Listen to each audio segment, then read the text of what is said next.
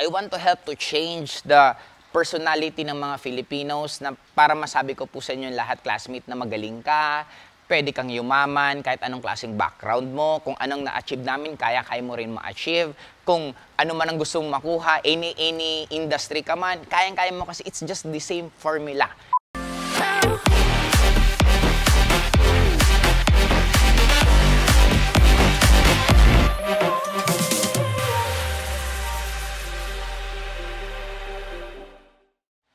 Classmate! Good morning po sa inyong lahat! Yahoo! At nandito na naman po tayo at ang pag-uusapan natin walang iba kung hindi bakit ang mayaman, lalong yung mayaman, pero ang twist po dito, i-explain ko po sa inyo ng detalyado lahat po ng ginagawa ko at bakit ko po siya ginagawa. Kasi na sa mga ibang vlogs ko, na topic ko naman to pero hindi masyadong toro. And right now, explain ko po talaga sa inyo. Number one, ang recipe to success is exposure napaka-importante po na expose ka sa buhay ng mayayaman. Kaya ang mayaman, lalong yung mayaman, kasi malaki yung, syempre, edge nila sa simula pa lang. Simula pa lang, napakalaki, napakalaki na ng edge nila kasi the exposure na meron sa kanila. Katulad ng ginagawa po namin sa community namin. Bakit ko ginagawa tong gila? Bakit kami nagkakaroon ng mga um, um, pasyal sa labas, tumira sa hotel, magstay sa hotel. Kasi doon mo lalong mai-stretch yung tinatawag na psychological wallet ng isang tao para mas lalong mangarap yumaman.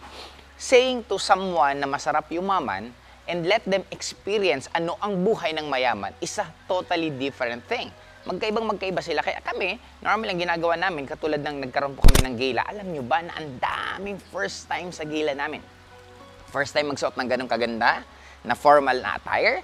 Second, first time makakain sa ganun kagandang hotel, ganun kasarap na pagkain, ganun na pagsaserve mismo na normally, na-experience lang to ng mga taong nasa taas. But right now, kahit ordinaryo kang tao, dito sa community namin, pinapa-experience po talaga namin mismo yung buhay na tinatawag ng mayayaman.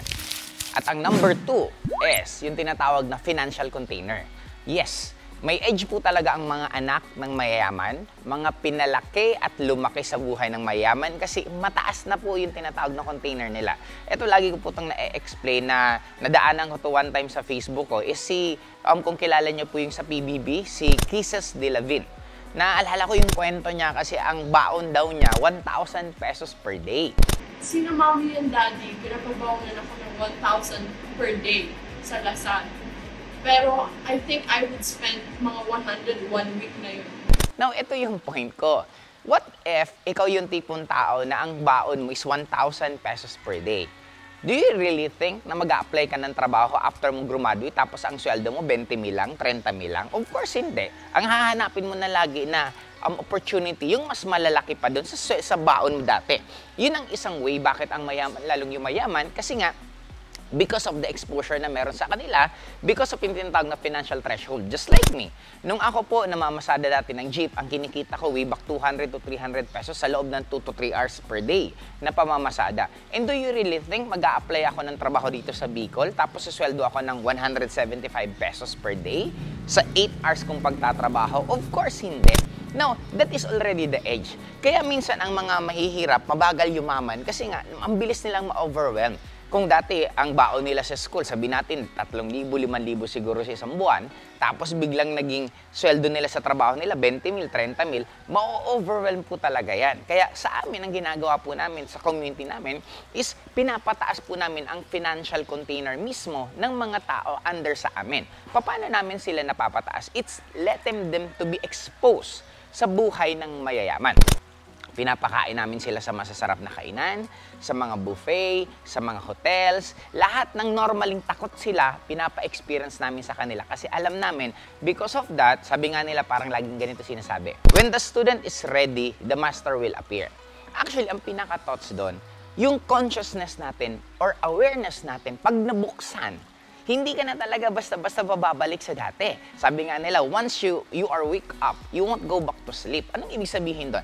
Now, lahat ng kailangan natin, lahat ng knowledge, information, tao na kailangan natin, nandyan na siya.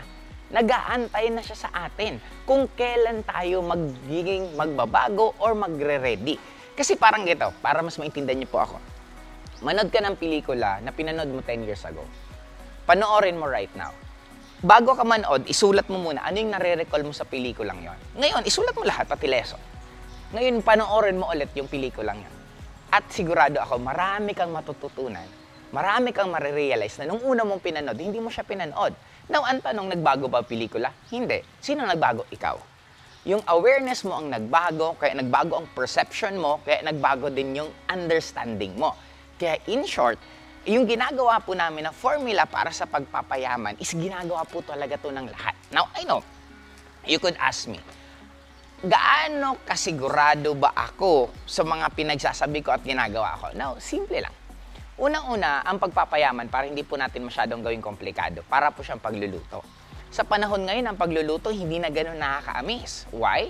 Kasi may YouTube eh kahit anong klaseng putahin gusto mong lutuin, i-type mo lang sa YouTube, i-type mo lang sa Google, meron ka ng procedure doon. Sundin mo lang yung procedure 100%. I'm sure, sigurado ako, makakapagluto ka ng pagkain na gusto mo. Maybe hindi man siya siguro ganun kasarap agad, pero dulo at least malapit siya sa katotohanan. Now, ganun din ang pagyaman. Sa panahon po ngayon, lahat ng kailangan natin information, knowledge, uh, mentor, nasa internet na po. Ngayon, ang kailangan lang po natin is willingness na sundin siya.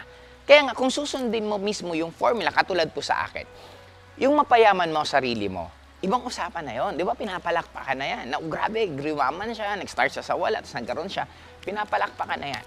Pero yung marami kang taong matulungan na yumaman, ibang usapan po yon. Kasi ako for the longest time, for 18 years, ang dami ko pong taong natawid. Dating walang kotse, nagko-commit, nagka-kotse, mababatingin dati sa sarili nila, tumaas ang tingin nila sa sarili nila. Dating ang akala nila yung 10,000, 20 mil, 30 mil, ang laki-laki ng amount. Tapos ngayon, nag-100,000. Yung nag-100,000, nagkakalahating milyon, nagkakalahating milyon, nag-iisang milyon.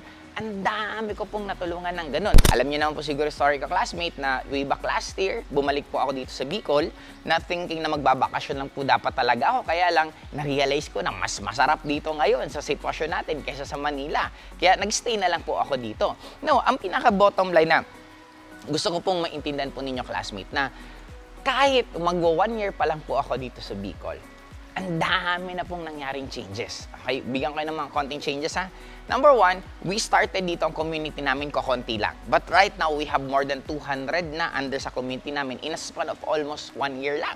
Marami po nagkaroon ng sasakyan. Bigyan ko ng mga example, katulad kay Jazz. Si Jazz Magdasok is a former, uh, actually, he, she's a single mom. But right now, because of um, ginagawa po namin dito, is nagkaroon po siya ng first car niya. Si Justina, Justina naman, dating empleyado, nag-resign. Ngayon, nagkaroon din po ng sasakyan. In short, ang daming mga story sa amin na nangyari last year. Ang daming pagbabago, um, ang dami namin mga kinandak na trainings, mga iba't ibang events na sobrang saya. Kasi ang dami po ngayon from different places dito sa buong Pilipinas. May mga iba po kaming under sa community namin na galing Mindanao, galing Visayas, may ibang galing OFW mismo, from Europe, from iba't ibang bansa. Ngayon, nandito na po.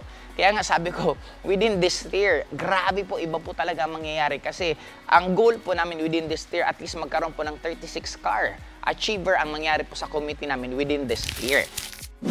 At sa ating number 3 is uncertainty. Yes, napakahilig ko po yung gawin sa kanila na alam niyo po classmates, sa totoo lang. Itong dinidiscuss ko sa inyo. Actually, hindi ko naman ito na-discuss ng detailed sa kanila.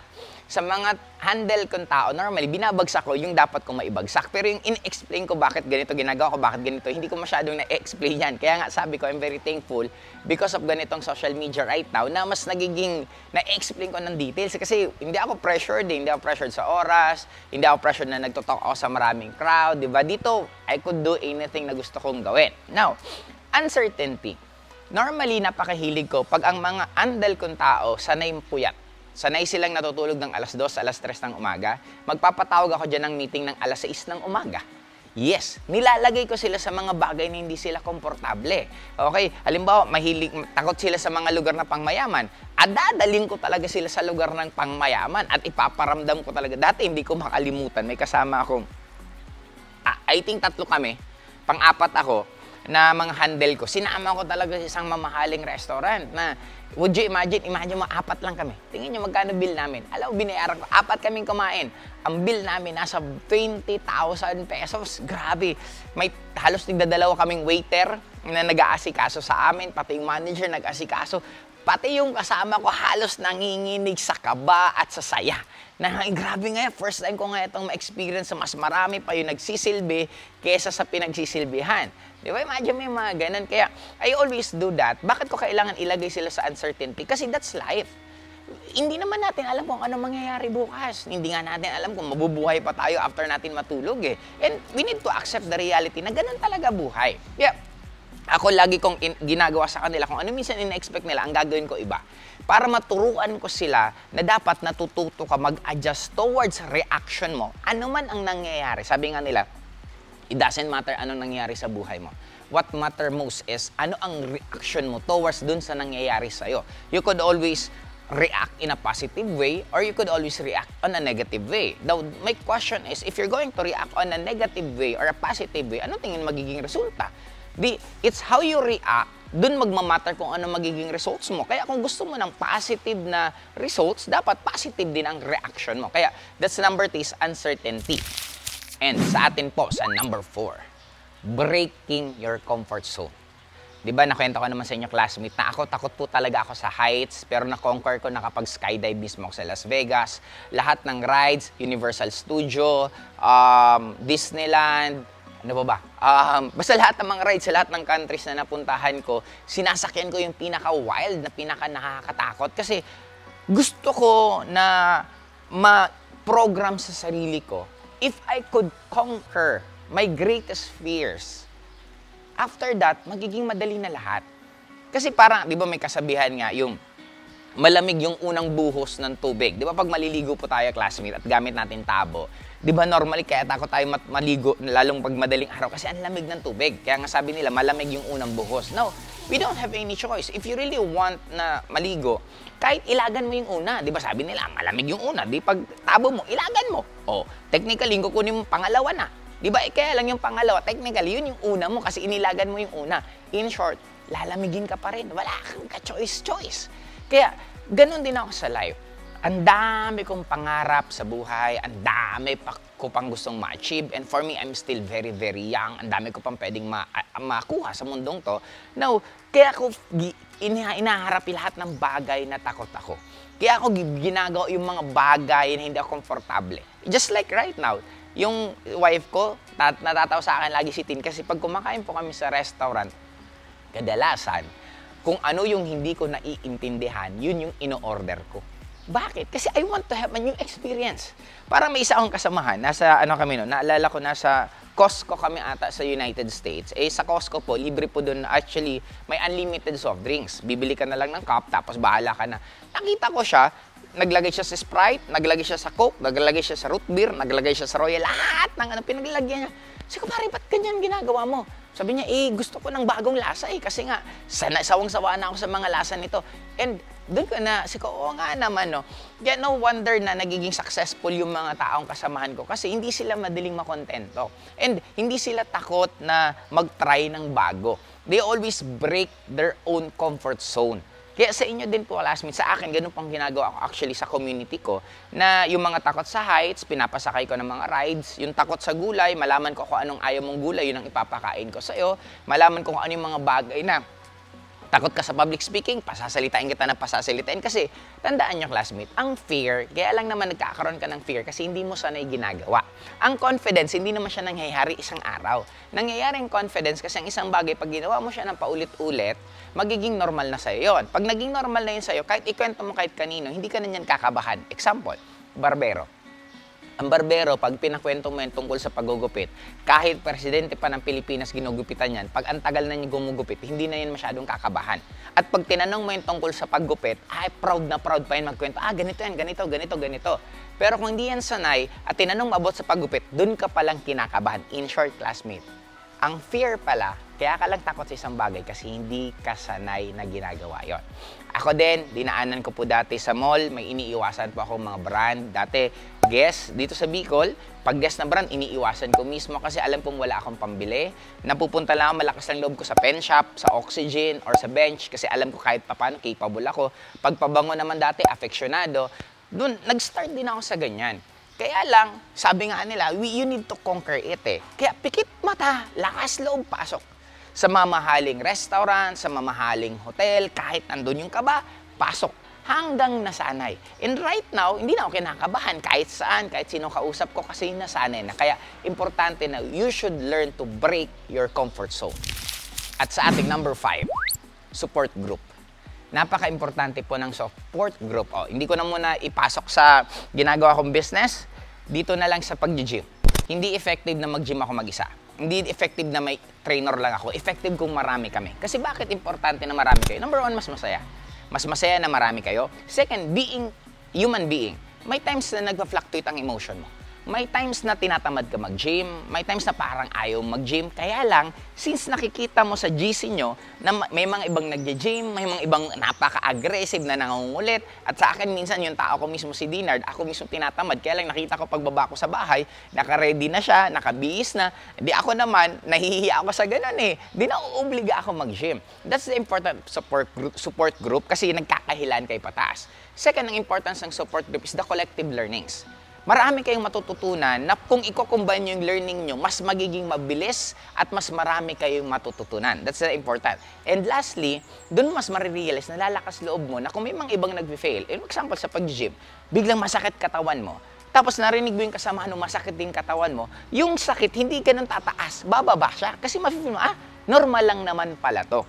Kaya maraming tao na nag-fail kasi they think na yung na-experience nila, sila lang nakaka-experience noon. But on reality, lahat ng tao na gusto maging successful, nararanasan nila mag-fail, nararanasan nila disappointment, frustration, lahat yan dadaanan yan.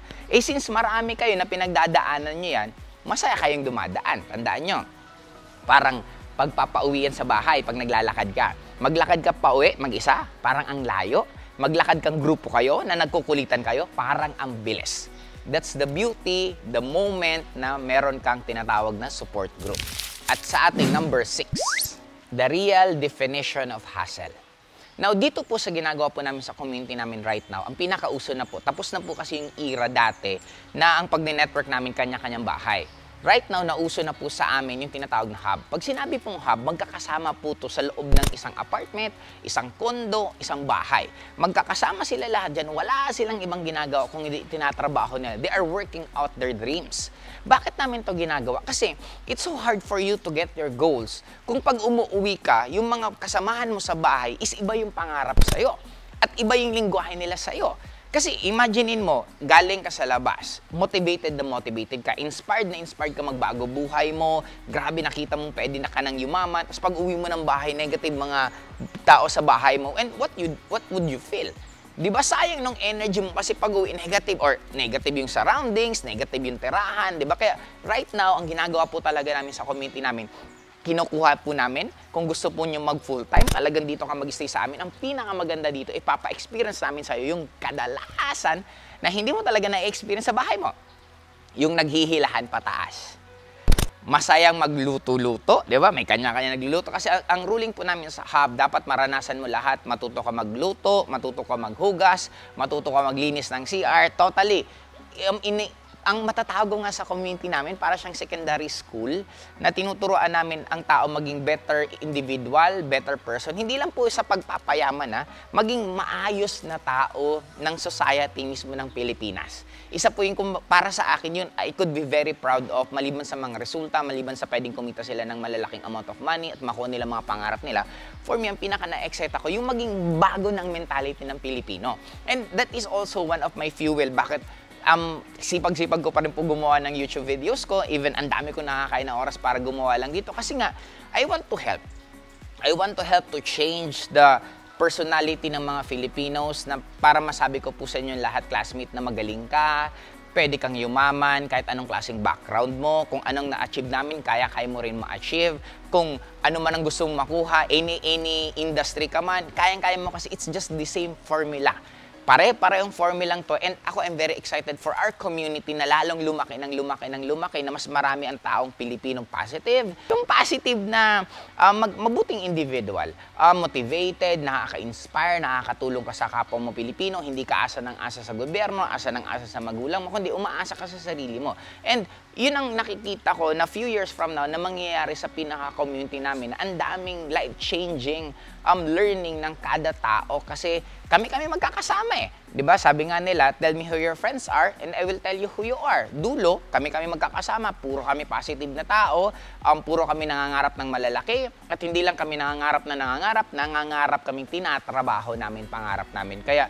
this year 2022, grabe po, mas sobrang daming changes ang mangyayari sa amin, improvement at growth at lalong-lalo na ang daming magbabagong buhay na makasama namin sa community namin. At sa ating number 7, focus.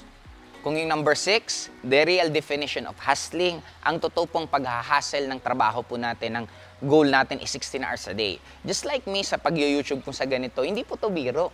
Na baka naisip nyo, pinaupo lang nagsasalita. Yung pagbubuo po ng content, madugo po talaga siya. Iba pa po yung editing, iba pa yung location, di ba? Ang dami pa mga kailangan gawin. Now, dulo, um, you need to be very focused sa gusto natin. Yun ang number seven ko. Bakit importante maging focus? Kasi marami pong tinatawag na start and stops. Ang mga tao na nag-fail, hindi naman dahil sa totoong failure sila. Ang taong nag-fail, hindi lang nila alam kung ano yung priority nila. Ang hirap po pagsabay-sabayin lahat. Actually, may isa po akong GC ng mga kaam, ano ka, schoolmate sa college. Di nagbibiroan kami, bla bla bla bla bla. Bigla ako nag ano, nasabi ko dun sa isang kasamahan ko, uy pare, ikaw na mag-assign, ikaw na mag, ano yan, mag-set up, magre-reunion reunion tayo. Reply, hindi ako pwede, busy ako. Ganun, napakasuplado niya. Sabi ko, pambihira ka naman para, napakaseryoso mo. But actually, talagang busy-busy talaga yun ever since. Maliban sa matalino yung nakaklase ko, pero sobrang yaman po nila. Ayaw lang naman po banggit, may mga sarili yun na McDonald na franchise eh. Now, kaya, doon ko nakita na yung tinatawag na focus. Imagine mo, ang yaman na to, may sariling hotel, kasi nagpagawa pa lang to ng sarili niyang hotel. Tapos, ganito, ganun pa rin sagot niya. Pero kung mga typical na Pilipino, anong gagawin? Tara, tara, gimmick tayo, tara, reunion, tara, ganito. Yun. Ang point ko, wala pong masamang gawin yon pero depende kasi sa goals nyo. Kung gusto nyo mas ma-achieve nyo ang goal nyo ng mas mabilis, you need to have a focus focus na dapat lahat ng oras mo binibigyan mo lang talaga dun sa goals mo at lahat ng hindi makakatulong dun sa goal mo, i-let go mo. Kaibigan mo na hindi nakakatulong, let go. Ugali mo na hindi makakatulong, baguhin. Mga hobbies mo na hindi rin connected sa goals, baguhin. In short, kung magkakaroon ka lang ng tinatawag na laser light focus or clarity, na lahat dapat ng ginagawa mo connected mismo dun sa gusto mong ma-achieve, magiging napakabilis ng pagkuha mo ng mga pangarap.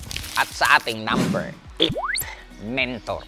Ito po, classmate, ang pinaka isa sa importante na sobra-sobra. Bakit? Dulo, explain lang natin bakit may Freddie Roach Manny Pacquiao. Bakit may Phil Jackson si Michael Jordan. Kahit sobrang gagaling na sila. Ano to ah? GOAT di ba, greatest of all time na basketball player, greatest of all. I could say na GOAT talaga si Pacquiao kasi 8 division siya lang naman ang nakagawa ng ganun sa lahat ng mga um, boksingero. Now, dulo para sa akin, bakit napaka-importante ng mentor? Kasi siya po magbibigay sa iyo ng clarity ng mga bagay na naguguluhan ka. Hindi po dapat kayo nagdi-decision kasi parang ako, may isa akong downline Misa akong tao ko na nakita ko kumita ng malaki, tapos may mga desisyon siya agad na ginawa kung saan siya ginastos ang pera. In short, mali-mali desisyon niya. Pinagsabihan ko, sabi ko, eto na lang tip ko sa'yo. Sa susunod, pag magdidesisyon ka in terms of money, magtanong ka muna sa akin. Kasi hindi ka dapat ang nagdidesisyon. Kasi tingnan mo, kumita ka lang naman ng malaki nung nagkasama tayo eh. Nung kasama mo lang naman sarili mo, hindi ka kumikita ng maayos at baon na baon ka sa utang. Now, bakit mo pagdidesisyonin yung old you sa new money mo, na dulo ko ang magdidesisyon yung old na ugali mo, sigurado ako yung money na meron ka, ubos ulit yan. Kaya nga, you, you need to, um, you need to listen to me first, bago ka gumawa ng sarili mong decision. Then ako na mismo magsasabi pagdating ng oras na pwede ka nang gumawa on your own, lalo money matters. And lastly, may isa din po akong tao ko na naalala ko, advice ako ng advice. Dati kasi napakasipag ko na pag may mga tanong, may mga hingin tips, turo ako ng turo. Then after yun, hiwalay na kami. After six months, nakita ko walang improvement sa network niya, hindi lumalaki income niya, walang changes. Sabi ko, ano nangyari? Sabi niya, mentor, sinusunod ko naman lahat ng advice mo. Sabi ko, ano ba yung mga advice ko sa'yo? Di in-explain niya, tat, tat, tat, tat, tat. Sabi ko, mali. Sabi ko, tama ka, sinunod mo nga yung advice ko. Kaya lang, interpretation mo ng advice ko mali. Di since yung interpretation mo ng advice ko mali, yung actions magiging mali, at yung results magiging mali. Kaya nga right now, naging adjustment ko. Alam mo yung classmate kong ano? Nagbigay ako ng tip, nagbigay ako ng advice. Ang sunod ko, anong naintindihan mo? O paano mo siya ibabagsak? Ano pagkakaalam mo sa ganito? Tinatanong ko na. Kasi karamihan sa atin, pagkausap natin, oo ng oo kahit hindi na iintindihan. Di ba? Ah, yes, mentor, grabe, ang ganda, ang ganda. Tapos pagdating ng oras, mali pala siya. In short, doble trabaho tuloy. Kaya right now, na isa sa na-emphasize ko na you need to have a credible. Pag sinabi pong credible, ibig sabihin, narating na niya yung gusto mong marating. Number two, updated. Ibig sabihin, nandun pa rin siya sa game. Yes, importante pa rin po makinig sa mga tinatawag na retired or tapos na po sa field na yon pero maganda yung achievement. Pero iba pa rin po kung makikinig din po kayo sa updated. Kasi totoo lang, katulad po sa amin sa network marketing industry, way back when I started 2003 and ngayon na 2022, after almost 20, 19 years, Ibang-iba na po ang network marketing right now. Alam niyo po ba, classmate, na ang kagandahan ngayon? Kasi dati, ang kumikita ng malalaki yung magagaling mag-network. Ngayon po, because of the social media, hindi na po. Kahit bago ka sa networking industry, basta magaling ka sa online, marunong ka ng TikTok, marunong ka ng Facebook, marunong ka ng YouTube, marunong ka ng mga algorithm na yan, you will have an edge. Kaya ibang-iba na po ang network marketing right now. Bakit po ako lalo akong excited? Kasi mas sobrang dumali because of the social media, mas walang gastos kasi hindi mo na kailangang bumiyahe ng bumiyahe. Sa online na lang makakapag-usap ka ng tao. Ang pinakamaganda pa dyan, yung reach mo. Yung reach namin dati, kung taga Bicol ka, taga Bicol lang pwede mong recruit, hindi pa nga buong Bicol kasi kung hindi ka naman tatawid dagat ng Masbate, tatawid ka ng Katanduan, hindi mo na sila marirecruit. But right now, because of the social media, ang market po buong mundo. Kaya I'm very excited for what will happen sa community namin for this whole year kasi ang dami po talagang magbabagong buhay ang mangyari po sa amin. Kaya for now, yun na muna classmate. Um, thank you so much sa lahat po ng support, sa lahat po ng nanonood, at especially syempre sa paulit-ulit na nanonood at nagko-comment mismo. Kaya thank you po sa inyong lahat. Eh,